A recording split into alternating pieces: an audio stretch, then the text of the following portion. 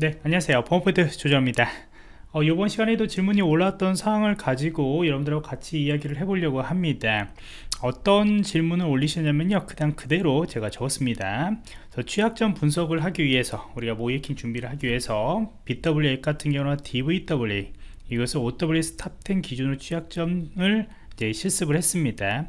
이거는 이제 기본적인 거죠. 우리가 웹해킹을 공부할 때 제일 많이 사용하는 환경 중에 하나이고 OWASP Top 10 같은 경우에도 우리가 웹해킹 할 때 많이 사용하는 가이드 그래서 이것을 주로 많이 이제 학습을 하게 되는 거고 교육할 때도 거의 다 대부분 요거 두 개로 예, 많이 진행을 합니다. 그래서 이것을 실습하고 난 뒤에 그 다음에 제가 이제 뭐 프로젝트 결과물 뭐 포트폴리오라고 얘기를 하는데 이 프로젝트 결과물들 이제 시나리오 기반으로 저희가 모의해킹 그 프로젝트를 진행하면 좋겠다 라고 항상 추천을 하게 되는 것이죠. 왜냐하면 이런 웹패킹 뿐만 아니고 이 시스템 해킹까지 그 다음에 그 안에서 이제 여러 가지 분야들을 조금 종합을 해 가지고 내놓으면은 더 좋은 결과를 얻을 수 있다라고 저는 보고 있기 때문에 그렇게 추천을 하고 있어요 그런데 이 질문 하신 분의 그러한 질문사항은 이제 뭐냐면은 실제 이런 사이트를 진단하는 것은 아니죠. 왜 그러면 이렇게까지 취약한 환경을 있을 수는 없죠. 왜 그러면 bWAPP이나 DVWA에는 어, 일부러 취약점을 만들어 놓고 여러분들이 테스트할 수 있는 공간이기 때문에 OWS 탑10 기준의 모든 취약점들이 다 포함이 되어 있어요. 그래서 이렇게 공격만 하고 책만 조금만 볼 수 있으면은 쉽게 쉽게 여러분들이 어, 테스트를 할 수가 있어요 그래서 이렇게 실무가 구축된 것이 없기 때문에 실무에서 진단을 하려면 어떤 식으로 좀 접근하면 좋을까라고 하는 겁니다. 이런 질문들을 많이 하시는 분들이 있고요. 그 다음에 이제 제 강의를 들으신 분들 중에서 정말로 이 강의가 실무에 맞춤이냐라고 하는 경우가 있습니다. 근데 여기서 말하는 이제 실무에서 맞춤이라고 하는 것은 앞에 기본 교육을 받고 난 뒤에 또 여러분들이 실무에 맞춤이 되어 있는 강의들을 또 이제 들으시는 것이죠. 같이 이런 것들을 이제 포함해서 저도 가르치고 있습니다. 자 그러면 이제 어떤 것을 여러분들이 공부하시면 좋을까? 어떻게 하면 좋을까에 대해서 이게 음, 이야기를 한번 해보려고 해요. 우선은 실무에 처음부터 맞춰가지고 공부할 수는 없어요. 이유는 뭐냐면은 취약한 환경으로 많이 공부하는 것들이 제일 중요합니다. 이게 많이라고 하는 것들은 여러 가지 취약한 점이에요. 취약한 항목 같은 경우에는 뭐 수천 가지 뭐 하나하나씩 다 따지면 수만 가지가 될 수도 있어요. 그런데 그렇게까지 공부할 수는 없기 때문에 그래도 최대한 많은 취약점들을 여러분들이 공부를 하기 위해서는 취약하게 설정되어 있는 그러한 이미지를 구해서 공부하는 것이 좋겠죠. 그래서 앞에서 bWAPP 같은 거나 DVWA 아니면 Metasploitable이나 여러 가지 환경들이 있습니다 저도 교육할 때 많이 사용하는 그런 환경들인데 이 취약한 환경들을 만들어내는 것도 상당히 어려워요. 그렇기 때문에 이미 만들어진 공간에다가 조금 더 플러스 더해 가지고 그렇게 만드시면 되고요. 그 다음에 여러분들이 요즘에 이제 Docker 환경이라고 Docker를 다룰 수 있으면 Docker 이미지로 굉장히 취약한 환경들이 많이 배포가 되어 있어요. 쉽게 환경을 구축할 수 있다라는 것이죠. 그래서 이렇게 공부하는 것이 되게 주, 중요합니다 왜 그러냐면은 이 공부할 때 처음 공부할 때부터 너무 실무적인 환경들을 다 구성을 해 가지고 정말로 아 이런 것들은 실제 실무에서는 음, 취약하게 설정하지 않는데 이거를 취약점을 좀 제거하고 난 뒤에 구성할까 라고 하면은 분석에 집중할 수가 없어요. 이거는 이미 다 업데이트를 하고 그 다음에 여러분들이 이것을 최신 버전으로 다 설치한 다음에 당연히 취약점이 거의 안 나오겠죠 그러면 거의 안 나오면 그 취약점을 내가 우회하는 기법들을 연구를 할까라고 하는 것도 중요하죠. 근데 이거는 나중이죠. 그것을 우회 기법이나 그런 것도 연구하는 것은 우선은 취약점을 많이 공부를 하시고 난 뒤에 나중에인 것이고 여러분들이 지금 현재 공부할 때는 제일 중요한 것은 굉장히 많은 여러 가지 취약점들을 경험을 해야 한다. 정말로 많은 취약점들을 시간이 될 만큼은 예, 계속 집중을 해 주셔야 하는 겁니다 그래서 제가 이제 뭐 일주일 단위로 계속적으로 보고서를 써라 그 다음에 또 이거를 묶어 가지고 한 달 단위로 프로젝트로 만들어라 하고 하는 이유는 뭐냐면은 계속적으로 더해야 하는 거예요. 많은 취약점들의 시스템 해킹도 여러분들이 공부를 하셔야 하는 거고 기본적인 웹 해킹도 공부를 하셔야 하는 거고 나중에 필요하면 프로그램을 이용해서 자동화 분석할 수 있는 방법, 방법이나 이런 것들을 계속적으로 여러분들이 많이 활용을 하셔야 돼요 그래서 저는 이제 오픈소스 도구 오픈 도구 특히 이제 칼리 리눅스나 오픈 도구에서 활용할 수 있는 방법들도 많이 공부하시라고 이야기를 하죠. 왜 그냥 오픈 도구들이 그 많은 취약점들을 다 점검할 수 있는 항목들이 포함이 되어 있기 때문에 여기에는 여러분들이 학습할 때 다양한 취약점들을 분석을 공부할 수 있다 라고 보시면 됩니다. 그래서 다양한 취약점들을 공부를 해야만이 실무에 접했을 때 그 공부했던 취약점 중에서 골라낼 수 있는 거죠 만약 여러분들이 공부를 했는데 앞에 기본 공부는 되게 많이 했어. 근데 웹해킹 공부나 그런 것들은 뭐 한두 달로 해가지고 내가 OWS 탑10에서 각각에 대해서 한 20가지 정도만 공부를 했어. 근데 이 20가지 공부했던 것들이 실무를 접했을 때 안 나온다고요. 이 취약점들이 쉽게 안 나와요. 쉽게 안 나옵니다. 그 이외에 다른 뭐 작은 작은 취약점들도 있을 거고 이게 간단하게 해낼 수 있는 취약점도 있을 거고 굉장히 복잡하게 해낼 수 있는 취약점들이 있는데 그 안에서 나온다고요. 그래서 그 취약점 공부했던 거에서 골라내 가지고 여러분들이 바로 응용을 할 수가 있는 것이지 만약 모이킹 실무에 진짜 여러분들이 어, 취업이 됐어요. 뭐 취업이 됐기, 됐다는 것은 그만큼 어, 많은 노력을 해가지고 준비했다는 것이지만은 생각보다 쉽게 또 취업이 되는 시기가 있다고 저는 이야기를 했습니다. 근데 취업이 막상 됐는데 제일 많은 스트레스가 받을 때가 언제라고 했죠? 모이킹을 들어갔는데 하나도 취약점이 안 나와. 이것도 뭐 일주일 이주일이지. 어, A라는 프로젝트에 갔는데 거의 안 나왔어. 보고서가 쓸 것이 없어. 근데 B라는 프로젝트 갔는데 또 쓸 것이 마땅히 없어. 근데 요거는 이제 상황에 따라서 다르겠지만은 거의 대부분의 경우는 그 많은 다양한 취약점들을 연습을 많이 안 하는 경우들도 있습니다 그래서 모이에킹 같은 경우는 모이에킹 인력에 따라서 결과물들이 완전 달라지는 경우들이 많이 있어요. 그 때문에 스트레스가 많이 받습니다.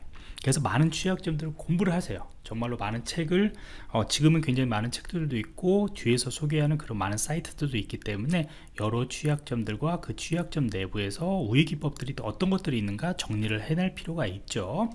그리고 취약한 환경들을 많이 공부를 하다. 특히 이제 우리가 자동화 분석 같은 것들을 많이 활용하다 보면은 이게 장애가 많이 발생을 합니다. 그래서 실무에선 자동화 분석 같은 건 장애가 많이 발생을 하기 때문에 조금 더덜 어, 사용하라고 아니면 아예 사용하지 못하도록 이야기하는 경우들도 있어요. 그렇다고 이걸 공부하지 마라. 그건 절대 아닙니다. 절대 아니고 자동화 분석 같은 거나 그런 것들을 취약한 환경에다 충분히 여러분들이 테스트를 해줄 필요가 있어요. 그래서 이렇게 테스트하는 과정에서 서비스 장애가 발생을 합니다. 당연히 발생할 수가 있어요 뭐, 뭐, 우리가 악성 코드나 그런 것들도 배포할 수도 있는 것이고요. 근데 악성 코드나 배포하는 것들은 실무에서는 그런 많은 경험들을 못하기 때문에 실제 공부할 때 많이 해보시라고요. 음, 많이 해보시면은, 아, 이런 것이 서비스 장애가 많이 발생하는구나. 내가 자동화 분석을 동작을 했는데 어떤 SQL 인젝션에 어떤 특정한 값이 들어갔더니 뭔가 장애가 발생하구나. 특히나 요즘에 API 서버가 있는데 API 서버에다 잘못 돌리면 장애가 또 엄청나게 많이 발생을 하거든요. 근데 이런 것들을 알아내는 것은 어, 느 때냐면요. 공부할 때. 여러분들이 공부할 때 더 잘 알아낼 수가 있어요. 놓치지 않고 공부를 하신다면 그런데 이제 실무에서는 실제 장애가 발생하면 어떤 상황이 발생한다 그렇죠? 여러분들은 예 이것을 그만둬야 하나? 라고 할 정도로 심각한 상황들이 발생할 수가 있겠죠. 여기는 큰 거예요 이거는. 어, 여러분들이 모이킹 할 때 장애가 발생을 하면요 굉장히 신뢰가 확 떨어집니다. 그래서 앞으로 그 프로젝트에 못 들어갈 수가 있는 경우도 있고 그 다음에 스트레스가 많이 발생을 해요. 여기는 두렵거든요.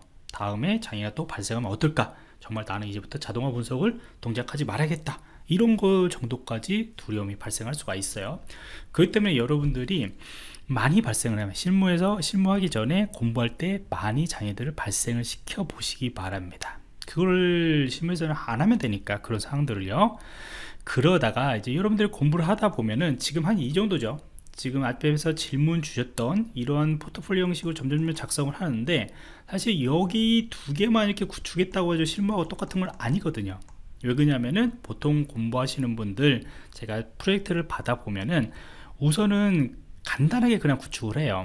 정말로 간단하게 구축을 해서 그냥 웹 서버 뭐 한두 대 정도 이렇게 구축을 해 가지고 보고서들을 많이 작성을 하는데 이 뒤에서부터는 여러분들이 프로젝트성으로 가상 인프라 구축들을 실무하고 좀 맞춰가는 겁니다. 즉 뭐냐면 안에다가 여러분들이 스위치 가상 스위치 환경 라우터 그 다음에 이제 뭐 IDS 설치 같은 것도 하고 망분리도 하고 뭐 이런 것들도 많이 합니다 물론 사양에 따라서 사람들이 가지고 있는 사양에 따라서 뭐 적용을 하면 되는 것인데 여기다가 이제 뭐 개발 환경도 만들어야 하는 것이고 그 다음에 DMZ2도 구성을 해야 하는 것이고 그 다음에 아까도 말했듯이 IDS나 IPS 장비들도 해서 실제 우리가 포트도 막아보면서 공격을 한번 해보는 거죠. 그래서 앞에서 공부했던 것들을 이제 가상 인프라로 샘플로 만들어 가지고 실무하고 거의 유사하게 만들어 가시면 됩니다 이미 저희가 이것도 강의로 다 오픈을 했죠. 어, 오픈을 했습니다. 어, 그래서 그것들을 가상 환경으로 맞춰서 공부하시면 됩니다. 그러면은 이전에 여러분들이 공부했던 가볍게 구성했던 거하고 달라요. 공격을 하다 보면은 아 이거는 쉽게 뚫렸는데 시스템 해킹까지 내가 하려다 보니까 뭔가 포트도 막혀 있고 뭔가 방화벽이나 그런 것들에 대해서 우회 기법도 필요한 부분들이고 뭔가 공격들이 조금 더 복잡해집니다. 그래서 그런 것들을 하면서 이제 우회 기법들을 할 수 있는지를 고민하게 되는 거죠. 뭐 웹, 웹방화벽이 있으면 웹방화벽의 특정한 공격 패턴들을 내가 어떻게 우회하면 되는지 cross-site script도 뭔가 방화벽에서 웹방화벽에서 막고 있는데 요것들이 실제 공격들이 가능한지 이런 것들을 체크하는 시간들이 또 필요하다는 것이죠. 이때 여러분들이 이제 좀 더더 더 여러분들 어필할 수 있는 뭔가 어필한다는 것은 여러분들이 가지고 있는 이제까지 공부했던 것들 이만큼 공부 같은 경우에는 누구나 다 많이 하죠.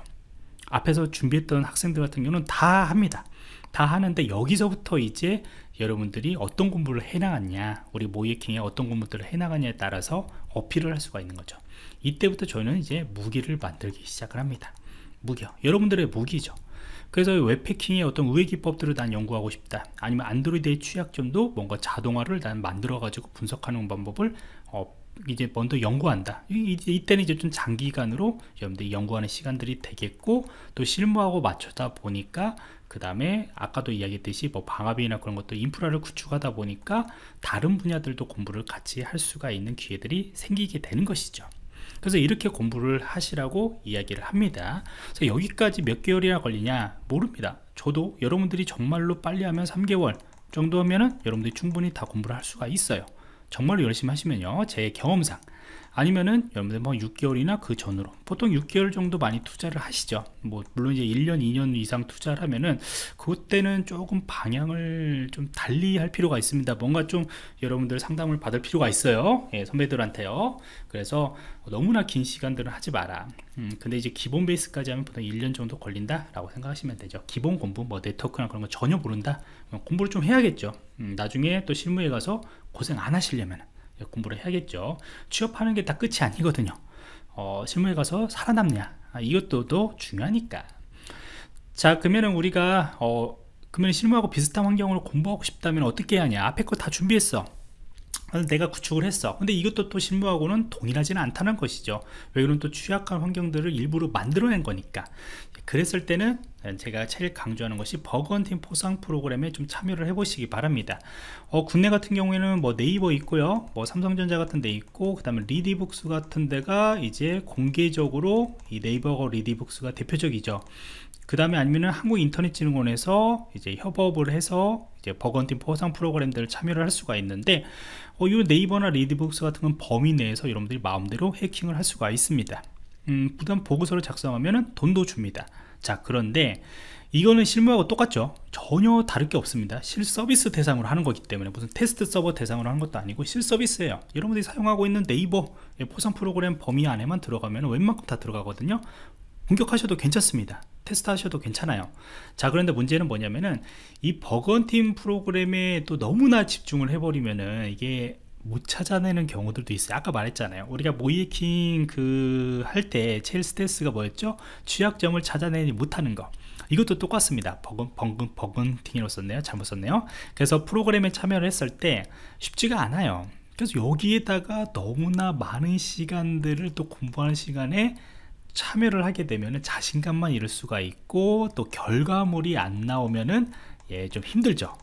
왜 그러냐면은 면접이나 그런 데 볼 때는 결과물이 중요하거든요. 내가 버건티 포상 프로그램에 참여했다고 하는 것들이 중요한 게 아니고 그거를 참여하면서 정말 그거를 시간을 이겨내면서 찾았냐. 이런 것들이 중요하거든요. 그래서 요거는 사실 운도 좀 따라줘야 돼요. 운도 따라지고 관심도 많이 가져야 하는 건데 내가 버건팀 포상 프로그램 했을 때 굉장히 어렵게 찾아낼 수 있는 취약점들이 있을 수도 있고 생각보다 갑 자기 생각이 나서 쉽게 찾아내는 경우들도 있어요. 생각보다 쉽게요. 그래서 이것들도 어느 정도는 여러분들이 관심을 계속적으로 실무에 가져야 한다.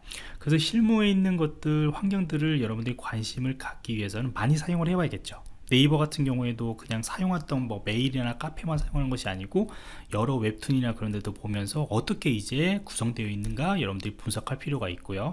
리디북스나 그런 같은 경우에도 뭐 전자책이나 그런 것도 많이 사용을 해봐야겠죠. 그 각각의 서비스도 많이 활용을 해봐야만이 그 취약점들이 포인트들이 나오겠죠. 그래서 많은 관심을 가지라고 이야기를 합니다. 모이킹은요 정말 시나리오 그 아니 서비스에 많은 관심을 가져야 돼요 정말 많은 관심 뭐 덕후라고 하잖아. 그 정도로 여러 서비스에 관심을 가져야만이 나중에 여러분들이 모이킹 할 때 어, 다양한 분야에 대해서 프로젝트들을 참여를 하면서 어려움을 겪지 않으실 겁니다 그렇죠? 게임을 전혀 하지 않았던 분들이 게임 해킹을 할 수가 없고 주식을 전혀 하지 못했던 분들이 주식 해킹을 쉽게 할 수는 없거든요. 주식 사이트를요. 그거 똑같다 보시면 됩니다. 그 다음에 우리가 이런 버건티 폴 프로그램에만 너무나 시간 집중하면은 나중에 결과물 안 나올 가능성이 있기 때문에 VulnHub 같은 경우는 Hack The Box 같은 사이트가 있어요. 요거 좀 소개를 좀 드리도록 할게요. 자요 사이트인데 이것도 이전에 제가 유튜브에서 좀 잠깐 소개를 드렸어요. VulnHub 같은 경우에는 여러분들이 직접 이미지를 받으시면 됩니다. 여기서 이미지를 받아서 푸시면 되는데 앞에서 bWAPP 같은 경우나 이제 DVWA 같은 경우는 그냥 단지 웹 해킹이잖아요. 근데 여기에 나와 있는 것들은 이제 flag 값들을 찾아내는 형식이에요 우리가 좀 CTF하고 살짝 조금 이제 연계가 되어 있는 부분인데 여기서 찾아가지고 root로 권한 상승을 해서 그 flag 값들을 찾아내는 겁니다. 그러면 여러분들이 웹해킹 뿐만 아니고 이제 어, 시스템 해킹이라고 하는 분야를 좀 알아야 한다. 자, 보시면 되고요. 어, 여기 있는 것들 좋은 것들은 뭐냐면 굉장히 많은 다양한 어, 취약한 것들을 제공을 해준다. 그러니까 여러분들이 만약 WordPress 취약점이란 것을 나는 어, 좀 하고 싶어 근데 환경 구축하기 되게 어려워. 그 다음 실제 취약하게 만드는 것도 더 어려워. 그랬을 때 여기에서 가면은 누군가가 그걸 취약한 것들을 다 만들어내고 테스트할 수 있는 환경들을 제공해 줍니다. 굉장히 많아요. 예, 이미지들도 굉장히 많고 예전부터 있었던 거 굉장히 많이 있고요. 계속적으로 업데이트가 되고 있다. 재밌는 것들도 많이 있어요. 지금 보면은 엄청 많죠? 그래서 미리미리 받아 놓으셔 가지고 나중에 푸셔도 괜찮다. 저는 이제 추천을 합니다 그 다음에 이제 헥터박스라고 하는 사이트인데 얘보다도 레벨이 살짝 어, 좀 높다고 저는 이야기를 합니다. 물론 쉬운 것들도 있는데 왜 그냐면 얘는 좀 연계가 돼 있어요. 그래서 A라는 사이트에 대해서 해킹을 하면은 여기는 그냥 A라는 곳의 서버에서 키값을 찾아내는 건데 여기는 좀 B라는 사이트 B라는 서버하고 또 연결이 돼서 이렇게 진입하는 그런 과정들도 있어요 그래서 이 Hack The Box라고 하는 것들도 lab이 굉장히 많습니다. 물론 이게 돈이 들어가요.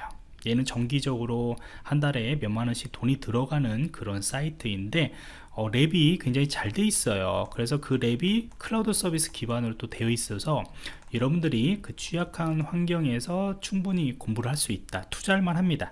투자할 만 하고요. 저도 이제 좀 심심할 때마다 한두 개 정도 이렇게 풀면서 좀 즐기는데 저는 업무가 이제 모해킹이다 보니까 아, 지겹죠.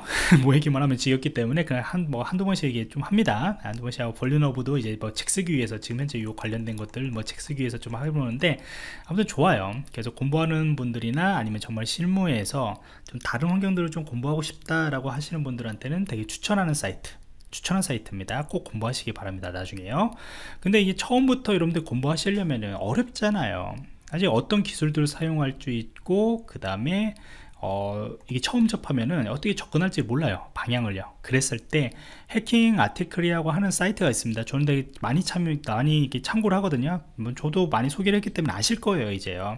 아실 건데 여기 보면 이제 헥터박스 같은 거나 벌루너브 같은 거나 그런 풀이를 했던 것들 물론 영어이지만은 그냥 보면 됩니다. 우리는 명령어만 봐도 다 이해를 하는 사람이잖아요 있죠. 그래서 이 헥터박스나 이런 벌륜 허버 같은 거 사례들이 많이 있고 다양한 그런 취약점 사례들도 많이 있습니다. 꼭 공부하세요. 어, 여러분들이 기본 공부하고 웹패킹만 좀 익혀두시면 요거는 어, 한 일주일에 한두 번 정도 이렇게 봐도 되는 사이트다. 그리고 많은 기법들을 여러분들 배울 수 있고 웬만큼은 다 있다. 라고 어, 저는 어, 생각을 합니다. 그래서 요 세 개 사이트를 여러분들이 잘 활용하세요. 그래도 넘칩니다 자원은 넘쳐요. 자원은 넘치고 여러분들이 시간을 투자해서 공부를 하시라고 저는 이제 추천을 좀 하고 싶습니다. 자 그래서 여기까지 여기까지 질문에 대해서 설명을 했습니다. 상당히 좀 긴 영상입니다. 긴 영상이고 어, 질문 많이 남겨주세요. 질문 많이 남겨주시면 이렇게 하나씩 또 어, 좋은 정보로 제가 어, 소개를 드리도록 하겠습니다